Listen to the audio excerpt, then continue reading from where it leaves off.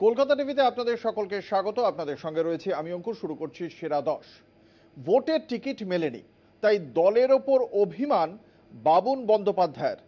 ভাইয়ের কাজে ক্ষুব্ধ মমতার কড়া পদক্ষেপ, ভাইয়ের সঙ্গে সব সম্পর্ক ছিন্ন করলেন মমতা বন্দ্যোপাধ্যায়।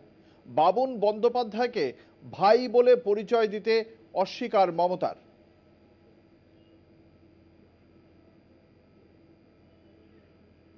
তৃণমূলের প্রার্থী তালিকা ঘোষণার পরেই ক্ষুব্ধ বাবুন বন্দ্যোপাধ্যায়। হাওড়ার প্রার্থীকে তার পছন্দ না। ইদানিংকালে সবচেয়ে ছোট ভাইয়ের কাজে চরম ক্ষুব্ধ বিরক্ত দিদি মমতা বন্দ্যোপাধ্যায়। ভোটের আগে বুধবার ভাইয়ের বিরুদ্ধে এক রাশ ক্ষোভ উগরে দিলেন তৃণমূল নেত্রী। আমার পরিবার বলে কিছু পরিবার নেই, আমার পরিবার হচ্ছে মানুষের পরিবার। আমাদের প্রায় বত্রিশ জন মেম্বার আছে পরিবারে। আমাদের কেউ কিন্তু এরকম নয়। এটাতে সবাই খুব ক্ষুব্ধ এবং আমি সরাসরি বলছি বড় হলে অনেকের লোভ একটু বেশি বেড়ে যায়। আমার পরিবারের ও কোনো মেম্বার বলে আমি মনে করি না। আজ থেকে আমি সব সম্পর্ক শুধু আমি নই, আমাদের রক্ষের পরিবারেরও যারা আছে, মামাটি মানুষের পরিবারেরও যারা আছে, সমস্ত সম্পর্ক ওর থেকে ছেদ হয়ে গেল। লোকসভা নির্বাচনে হাওড়া কেন্দ্রে তৃণমূলের টিকিটে লড়ছেন প্রসূন বন্দ্যোপাধ্যায়। কিন্তু প্রার্থী হিসেবে প্রসূনকে তার না পছন্দ তাই দলের বিরুদ্ধে ক্ষোভের সুর, স্বপন বন্দ্যোপাধ্যায়ের গলায়। যদিও প্রসূন বাবুন দ্বন্দ্বের শুরু খেলার মাঠ থেকেই। এবার সেই দ্বন্দ্বের আগুনে ঘি ঢালল তৃণমূলের প্রার্থী তালিকা। জল্পনা বাড়ি, হাওড়া লোকসভা কেন্দ্রে প্রতিদ্বন্দ্বিতা করতে পারেন স্বপন। বাবুনের বিরুদ্ধে কথা বলতে গিয়ে এক সময় আবেগপ্রবণ হয়ে পড়েন মমতা। বাবুনের সঙ্গে শুধু ব্যক্তিগত সম্পর্কই নয়, তৃণমূল কংগ্রেসের পরিবারের সঙ্গেও বাবুনের সম্পর্ক ভাঙলেন মুখ্যমন্ত্রী মমতা বন্দ্যোপাধ্যায়। তৃণমূল বলছে, পরিবারতন্ত্রে বিশ্বাস করে না দল। কলকাতা টিভি।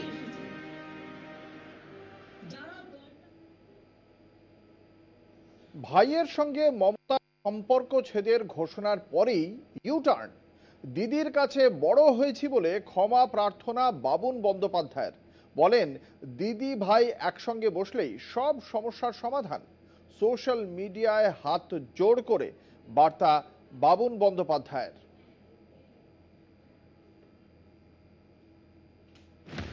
বাবুনের ইউটার্ন নমস্কার, আমি বাবুন বন্দ্যোপাধ্যায়। আমি নেত্রী মমতা বন্দ্যোপাধ্যায়ের ভাই। আমি বিজেপিতে যাচ্ছি এটা একটা ফেক নিউজ দিদি কড়া হতেই সুনরম ভাই বাবুন বন্দ্যোপাধ্যায়ের।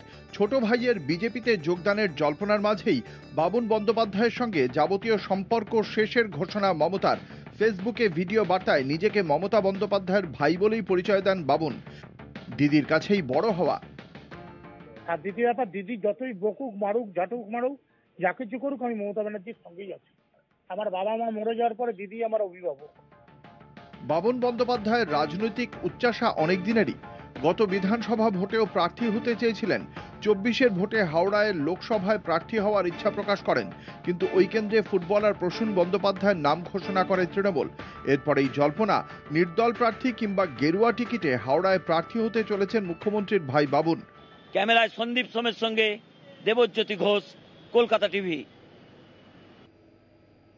সিএ নিয়ে ফের একবার কেন্দ্রীয় সরকার তথা বিজেপিকে তোপ মমতার। স্বরাষ্ট্র মন্ত্রকের বিবৃতির প্রেক্ষিতে সিএ নিয়ে কড়া সুরে বিরোধিতা মুখ্যমন্ত্রীর। নতুন হিন্দু ধর্মের মডেল আমদানি করেছে বিজেপি, তোপ মমতার। সংশোধিত নাগরিকত্ব আইন বা সিএ লাগু হবার পর থেকেই মমতা বন্দ্যোপাধ্যায় সহ দেশ জুড়ে বিরোধীরা সোচ্চার হয়েছেন এই আইনের বিরোধিতায়। এরপরই মঙ্গলবার স্বরাষ্ট্রমন্ত্র একটি বিবৃতি প্রকাশ করে। বিবৃতিতে বলা হয়েছে, প্রচুর ভুল ব্যাখ্যা ছড়াচ্ছে সিএ নিয়ে। ধর্ম নির্বিশেষে কোনো ভারতীয় নাগরিকের নাগরিকত্ব কারা হবে না। সিএ দু হাজার উনিশের যোগ্য যে কোনো ব্যক্তি নাগরিকত্বের আবেদন করতে পারেন। এই যে কালকে বলেছে যে না, কিছু করা হবে না সেটা রুলসে নেই কেন? এর মধ্যে স্বরাষ্ট্র মন্ত্রকের সিএ পোর্টাল লঞ্চ হয়ে গেছে। কাজ শুরু করেছে পোর্টাল। নাগরিকত্বের আবেদনও করা যাচ্ছে। যেই ক্যা করবেন আপনার আধার কার্ড ওই যে বাতিল করতে শুরু করেছিল না? করেছিল কি করেনি? আমি চেপে ধরেছিলাম তখন চেপে গেছিল। সিএ প্রসঙ্গ টেনে ধর্মীয় ভেদাভেদ প্রশ্নে বিজেপিকে নিশানা করেন মমতা। বিজেপি হিন্দু হিন্দু বলে ও হিন্দুর তকমা আলাদা। এ আমাদের দুর্গাপূজার হিন্দু নয় রামকৃষ্ণর হিন্দু নয় ঋগ্বেদ, সামবেদ, যজুবেদ, অথর্ববেদের হিন্দু হিন্দু নয়। স্বামী বিবেকানন্দের হিন্দু নয়। বিশ্বা মুন্ডার নয়। পঞ্চানন বর্মার নয়। মতুয়া ঠাকুরের নয়। ওরা নতুন করে একটা হিন্দু ধর্ম আমদানি করেছে, যেটা হিন্দু ধর্মকে অপমান করছে। ভোটের আগে সিএ করে আসলে গিমিক তুলছে বিজেপি। ধাপ্পা দেওয়ার চেষ্টা হচ্ছে। একের পর এক অভিযোগে ফের বিজেপিকে বেঁধলেন মমতা। কলকাতা টিভি। টাকা ফেরত চাওয়ায় ব্যবসায়ীকে খুন করে দেহ ট্যাঙ্কের নিচে পাঁচিল তুলে গেঁথে দেওয়া হয়েছিল। নিমতা এলাকায় এক বাড়ি থেকে উদ্ধার ভবানীপুরের ব্যবসায়ী ভব্যা লাখানির দেহ। ঘটনায় গ্রেপ্তার মূল পাণ্ডা অনির্বাণ গুপ্ত এবং সহযোগী সুমন দাস।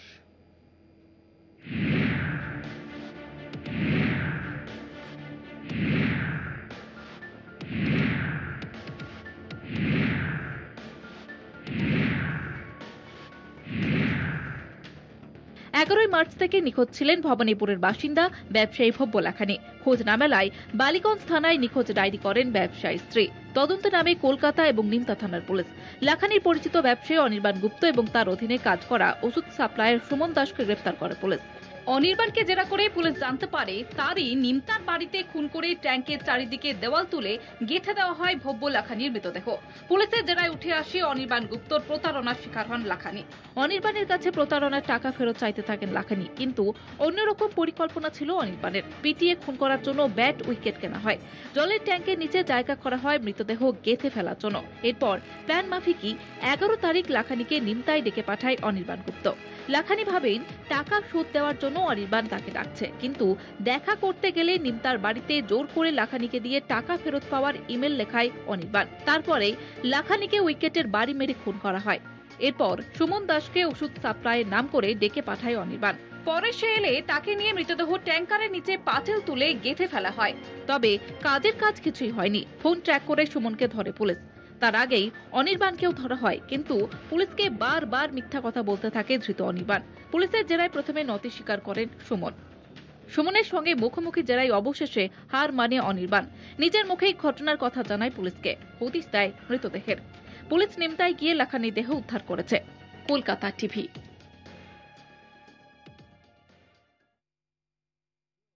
মণিপুরের মৃত ব্যবসায়ী ভব্যা লাখানির বাড়িতে গেলেন মুখ্যমন্ত্রী মমতা বন্দ্যোপাধ্যায়। মৃত ব্যবসায়ীর বৃদ্ধা মা, স্ত্রী ও দুই সন্তানের পাশে থাকার আশ্বাস দিয়েছেন তিনি। কলকাতা পুলিশের হোমিসাইড শাখা তদন্তভার গ্রহণ করেছে বলে জানিয়েছেন সিপি বিনীত গোয়েল। উত্তরবঙ্গ থেকে ফিরেই মৃত ব্যবসায়ী ভব্যলা খানির বাড়িতে গেলেন মুখ্যমন্ত্রী। আশ্বাস দিলেন পরিবারকে। রাজ্য সরকারের পক্ষ থেকে দু লক্ষ টাকা সহায়তার ঘোষণা করা হয়েছে। মামলার তদন্তভার গ্রহণ করেছে কলকাতা পুলিশের হোমিসাইড শাখা। আমার সান্ত্বনা দেবার কোনো ভাষা নেই। এরা ক্রিমিনাল নয় ক্রিমিনালের থেকেও বড় ক্রিমিনাল যারা এই ধরনের ক্রাইম করে আমি মনে করি প্রি প্ল্যান মার্ডার ইনভেস্টিগেশন চলছে অলরেডি হোমিসাইড এই ইনভেস্টিগেশনটা টেক আপ করেছে। পোস্টমর্টম অলরেডি হয়ে গেছে। আমরা দেখছি যদি আর কারও ইনভলভমেন্ট থাকে। পূর্ব পরিকল্পনা করেই খুন ভবানীপুরের ব্যবসায়ী ভব্যা লাখানিকে তদন্তে উঠে আসছে পুলিশের নজর ঘোরানোর জন্য একাধিক কৌশল নিয়েছিল ধৃতরা। একদিকে যেমন অনির্বাণ গুপ্তর বাড়ির ওপরে, অর্থাৎ ছাদে, ট্যাঙ্কের নিচে দশ ইঞ্চের দেওয়াল গাঁথা হয়েছিল, কারণ বডি সেখানে রাখার পর যাতে গন্ধ বাইরে না বেরোয়, অন্যদিকে তাকে খুন কর- করার পরে তার মোবাইল ফোন ফেলে দেওয়া হয়েছিল শোভাবাজারের নিষিদ্ধ পল্লী এলাকায়, যাতে তার লোকেশন নিয়ে ধোঁয়াশা তৈরি হয়। ক্যামেরায় সুবীর সরকারের সঙ্গে রিয়া মাঝি, কলকাতা টিভি। রবিবারের ব্রিগেডে আশা ভঙ্গ হয়েছে ব্যারাকপুরের বিদায়ী সাংসদ অর্জুন সিং এর তাঁর পরিবর্তে ব্যারাকপুরে তৃণমূল কংগ্রেসের প্রার্থী পার্থ ভৌমিক। পার্থ টিকিট পাওয়ায় দলত্যাগ করে বিজেপিতে যোগদানের ইঙ্গিত দিয়ে রেখেছেন অর্জুন সিং। এরই মধ্যে ব্যারাকপুরে দল বদলুদের বিরুদ্ধে পোস্টার পড়ল। দেখুন একটা আপনি বিহারে দেখতে পান পল্টুরাম। আমাদের ব্যারাকপুরে হয়ে গেছেন এখন পল্টুরাম। যে বলছেন আপনার মাধ্যম দিয়ে আমি শুনলাম। আজকে ব্যারাকপুরে একটা পোস্টার পড়েছে বলছে পার্থভূমিকে লাগিয়েছে কেন পার্থদা লাগাবে? পার্থদা আর খেয়ে কোনো কাজ নেই? উনিশের লোকসভা ভোটে বিজেপির টিকিটে জিতে সংসদে যান অর্জুন সিং। দুবছর পরেই পাল্টি। বাইশে তৃণমূলে ফেরার পর থেকেই লক্ষ্য একটাই চব্বিশে তৃণমূলের টিকিটে দাঁড়ানো। ছেলে পবন সিং বারণ করেছিলেন বুঝিয়েছিলেন। বাবা ঝানু রাজনীতিক হয়তো অন্য কিছু ভেবেছিলেন। ভুল ভাঙল চব্বিশের দোরগোড়ায়। তার আগে অবশ্য তৃণমূলের ব্যারাকপুর শিল্পাঞ্চলের বিধায়করা তিষ্ঠ হতে দেননি। সোমনাথ শ্যাম থেকে সুবোধ অধিকারী, পার্থ ভৌমিক থেকে মঞ্জু বসু, অর্জুনের দলে ফেরা নিয়ে অসন্তোষ ক্রমশই পুঞ্জীভূত হয়েছে। গোষ্ঠী কোন্দল মিটিয়ে একসঙ্গে কাজ করার কড়া বার্তা দিতে হয়েছে মমতা বন্দ্যোপাধ্যায়কে। আসরে নামতে হয়েছে খোদ রাজ্য সভাপতি সুব্রত বক্সিকে। তবে দ্বন্দ্ব মেটেনি, বরং বেড়েছে। দলনেত্রীর বার্তায় অবশ্য মুখে কুলুপি দিয়েছিলেন অর্জুন, তখনও নিশ্চিত ছিলেন ব্যারাকপুরের তৃণমূলের টিকিট তাঁরই। ব্রিগেডের জনগর্জনে অর্জুনের সব আশা ধূলিসাৎ। ব্যারাকপুর থেকে ঘাসফুলে প্রার্থী, অভিষেক ঘনিষ্ঠ মন্ত্রী, পার্থ ভৌমিক। ব্যাস, বিদ্রোহী অর্জুন, অফিস ঘর থেকে সরিয়ে ফেললেন মমতা অভিষেকের ছবি। পার্থ ভৌমিককে তুলোধনা করলেন। ব্যারাকপুর তাঁর হৃদয়ে। ব্যারাকপুরের মানুষের জন্য যতদূর যেতে হয় যাবেন। বার্তা স্পষ্ট। সংসদে যেতে চান ব্যারাকপুর থেকেই। পার্থ ভৌমিক কোনো ফ্যাক্টরি নয়। পাল্টা আক্রমণ নয়, খোঁচা খাওয়া বাঘকে আরও একটু খুঁচিয়ে দিলেন সেচমন্ত্রী। অর্জুনকে প্রার্থী করলে শিল্পাঞ্চলের একাধিক বিধায়ক বেঁকে বসতে পারেন, তার হয়ে ময়দানে নামতে নাও পারেন। দলের ভেতর অসন্তোষের আবহে সেই রিস্কটা নেননি মমতা অভিষেক। ব্যারাকপুর থেকে শুভজিৎ সিং এর রিপোর্ট, কলকাতা টিভি। নেড়াবো একটা ছোট্ট বিরতি, বিরতির পর ফিরে আসছি আরও খবর নিয়ে। দেখতে থাকুন সেরা দশ।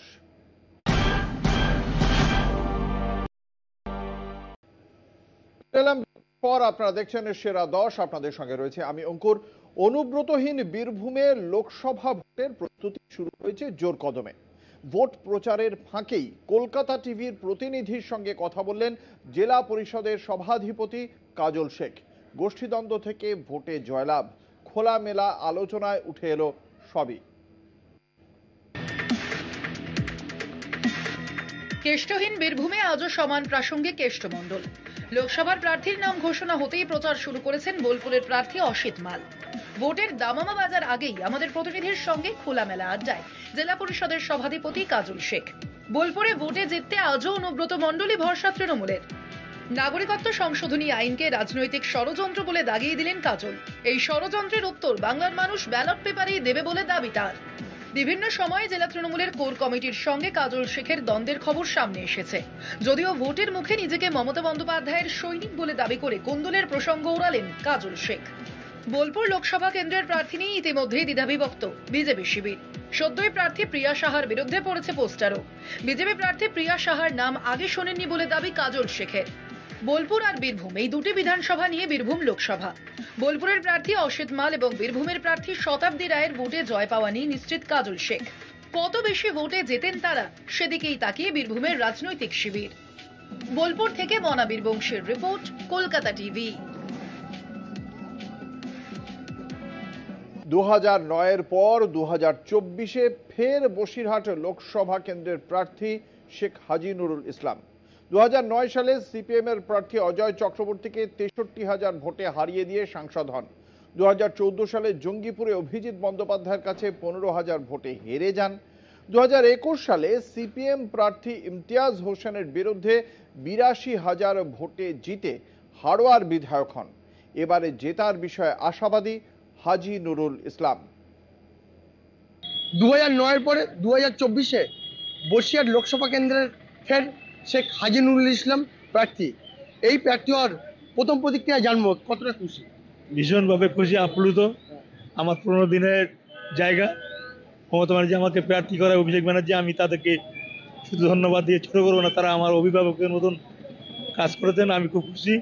নয় সালে আয়লা হওয়ার পরে দু হাজার নয়ের আয়লা পঁচিশে মে তারপরে আপনাকে দেখা গিয়েছিল মাথায় করে খাবার নিয়ে গেলে সন্দেশকালী এটা কি বলব? এই এই সংসার আমার এটা। এটা আমি আমার একই সংসারের লোক মনে করি। সেদিন মানুষের যে কাজ করেছিলাম আমার এই নেতৃত্ব নিয়ে তারা কিন্তু ভুলে যায়নি। তারা কিন্তু আজও আশীর্বাদ করে। এটাই আমার কাছে বড় প্রাপ্য। দু হাজার নয়ের পর দু হাজার চোদ্দ সালে জঙ্গিপুরে আপনি হেরে গেছেন।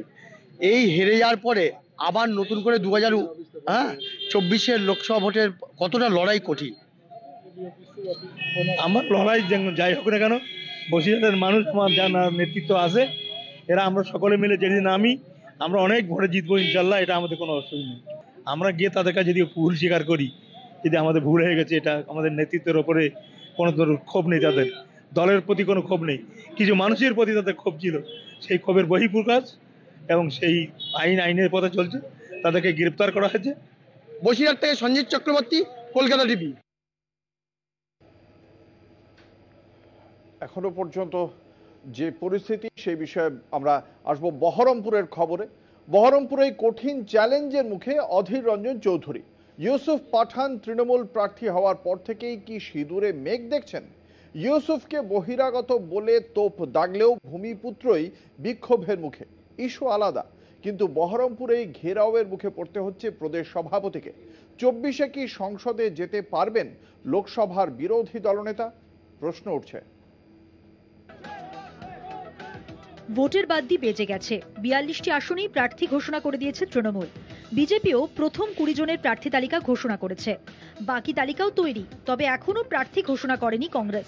অধীর নিজে চাইলেও সিপিএম এর সঙ্গে জোট নিয়েও সংশয়, তবে বহরমপুরে প্রার্থী তিনি পাঁচবারের সাংসদ অধীর কি ফের বহরমপুর থেকে সংসদে যেতে পারবেন? সমীকরণ জটিল। তৃণমূলের সংখ্যালঘু প্রার্থী, বিজেপির প্রার্থী, বিশিষ্ট চিকিৎসক। কংগ্রেসের সংগঠন যে দুর্বল হচ্ছে, তার প্রমাণ মিলেছে পঞ্চায়েত ভোটেই।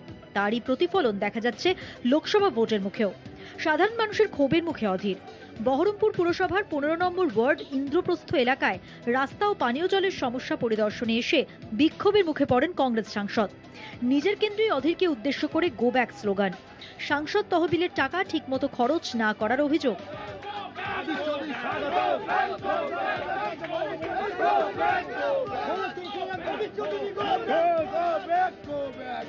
অধীরের অভিযোগ তিনি বহরমপুরের উন্নয়ন চান, কিন্তু তাকে বাধা দিচ্ছে প্রশাসন। সাংসদ তহবিলের টাকা খরচ করতে দেওয়া হচ্ছে না। ভোটের মুখে রাজনীতি করছে সিপিএম। পাল্টা তৃণমূল। অধীর চৌধুরীর বিরুদ্ধে মামলা করতে চলেছে তৃণমূল। হুঁশিয়ারি বহরমপুর পুরসভার ভাইস চেয়ারম্যান স্বরূপ সাহার। অধীরের বিরুদ্ধে সস্তা রাজনীতি করার অভিযোগ। সব মিলিয়ে বহরমপুর লোকসভা কেন্দ্রের দিকে তাকালে ছবিটা পরিষ্কার। চাপ বাড়ছে অধীরের। বহরমপুর থেকে কল্যাণ চন্দ্রের রিপোর্ট। কলকাতা টিভি। প্রথম দফার প্রার্থী ঘোষণার পর থেকে অস্বস্তিতে বিজেপি। উত্তর থেকে দক্ষিণ দলীয় কোন্দল মাথা চাড়া দিচ্ছে। কোথাও প্রার্থীর বিরুদ্ধে বিক্ষুব্ধ সাংসদ, কোথাও প্রার্থীর বিরুদ্ধে পোস্টার, দলের একাংশের ক্ষোভ জমছে, কোথাও আদি নব্য দ্বন্দ্ব কোথাও ভূমিপুত্রকে প্রার্থী করার দাবি। লোকসভা ভোটের দিন ঘোষণার আগে প্রথম প্রার্থী ঘোষণা করে বিজেপি। তবে প্রথম দফায় রাজ্যের কুড়িটি আসনে প্রার্থী ঘোষণার পর থেকেই ক্ষোভ বাড়ছে গেরুয়া শিবিরের একাংশে।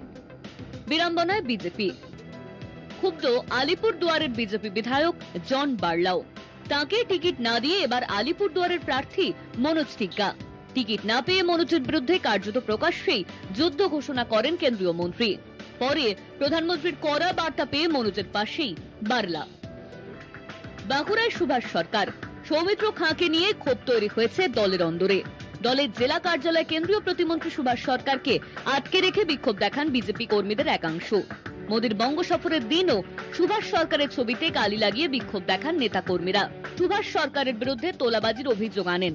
যদিও এই অডিও ক্লিপের সত্যতা যাচাই করেনি কলকাতা টিভি। নীলাদ্রির অডিও ক্লিপকে ঘিরে শোরগোল পরে রাজ্য রাজনীতিতে।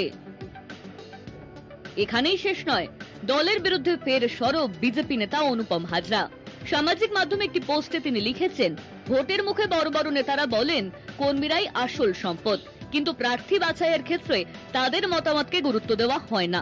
ইতিমধ্যেই তৃণমূলের লাগাতার কটাক্ষ আক্রমণের মুখে লোকসভা ভোটের লড়াই থেকে সরে দাঁড়াতে বাধ্য হয়েছেন আসানসোল কেন্দ্রের বিজেপি প্রার্থী পবন সিং। দ্বিতীয় দফার প্রার্থী তালিকায় সতর্ক থাকতেই হবে বিজেপিকে। কলকাতা টিভি।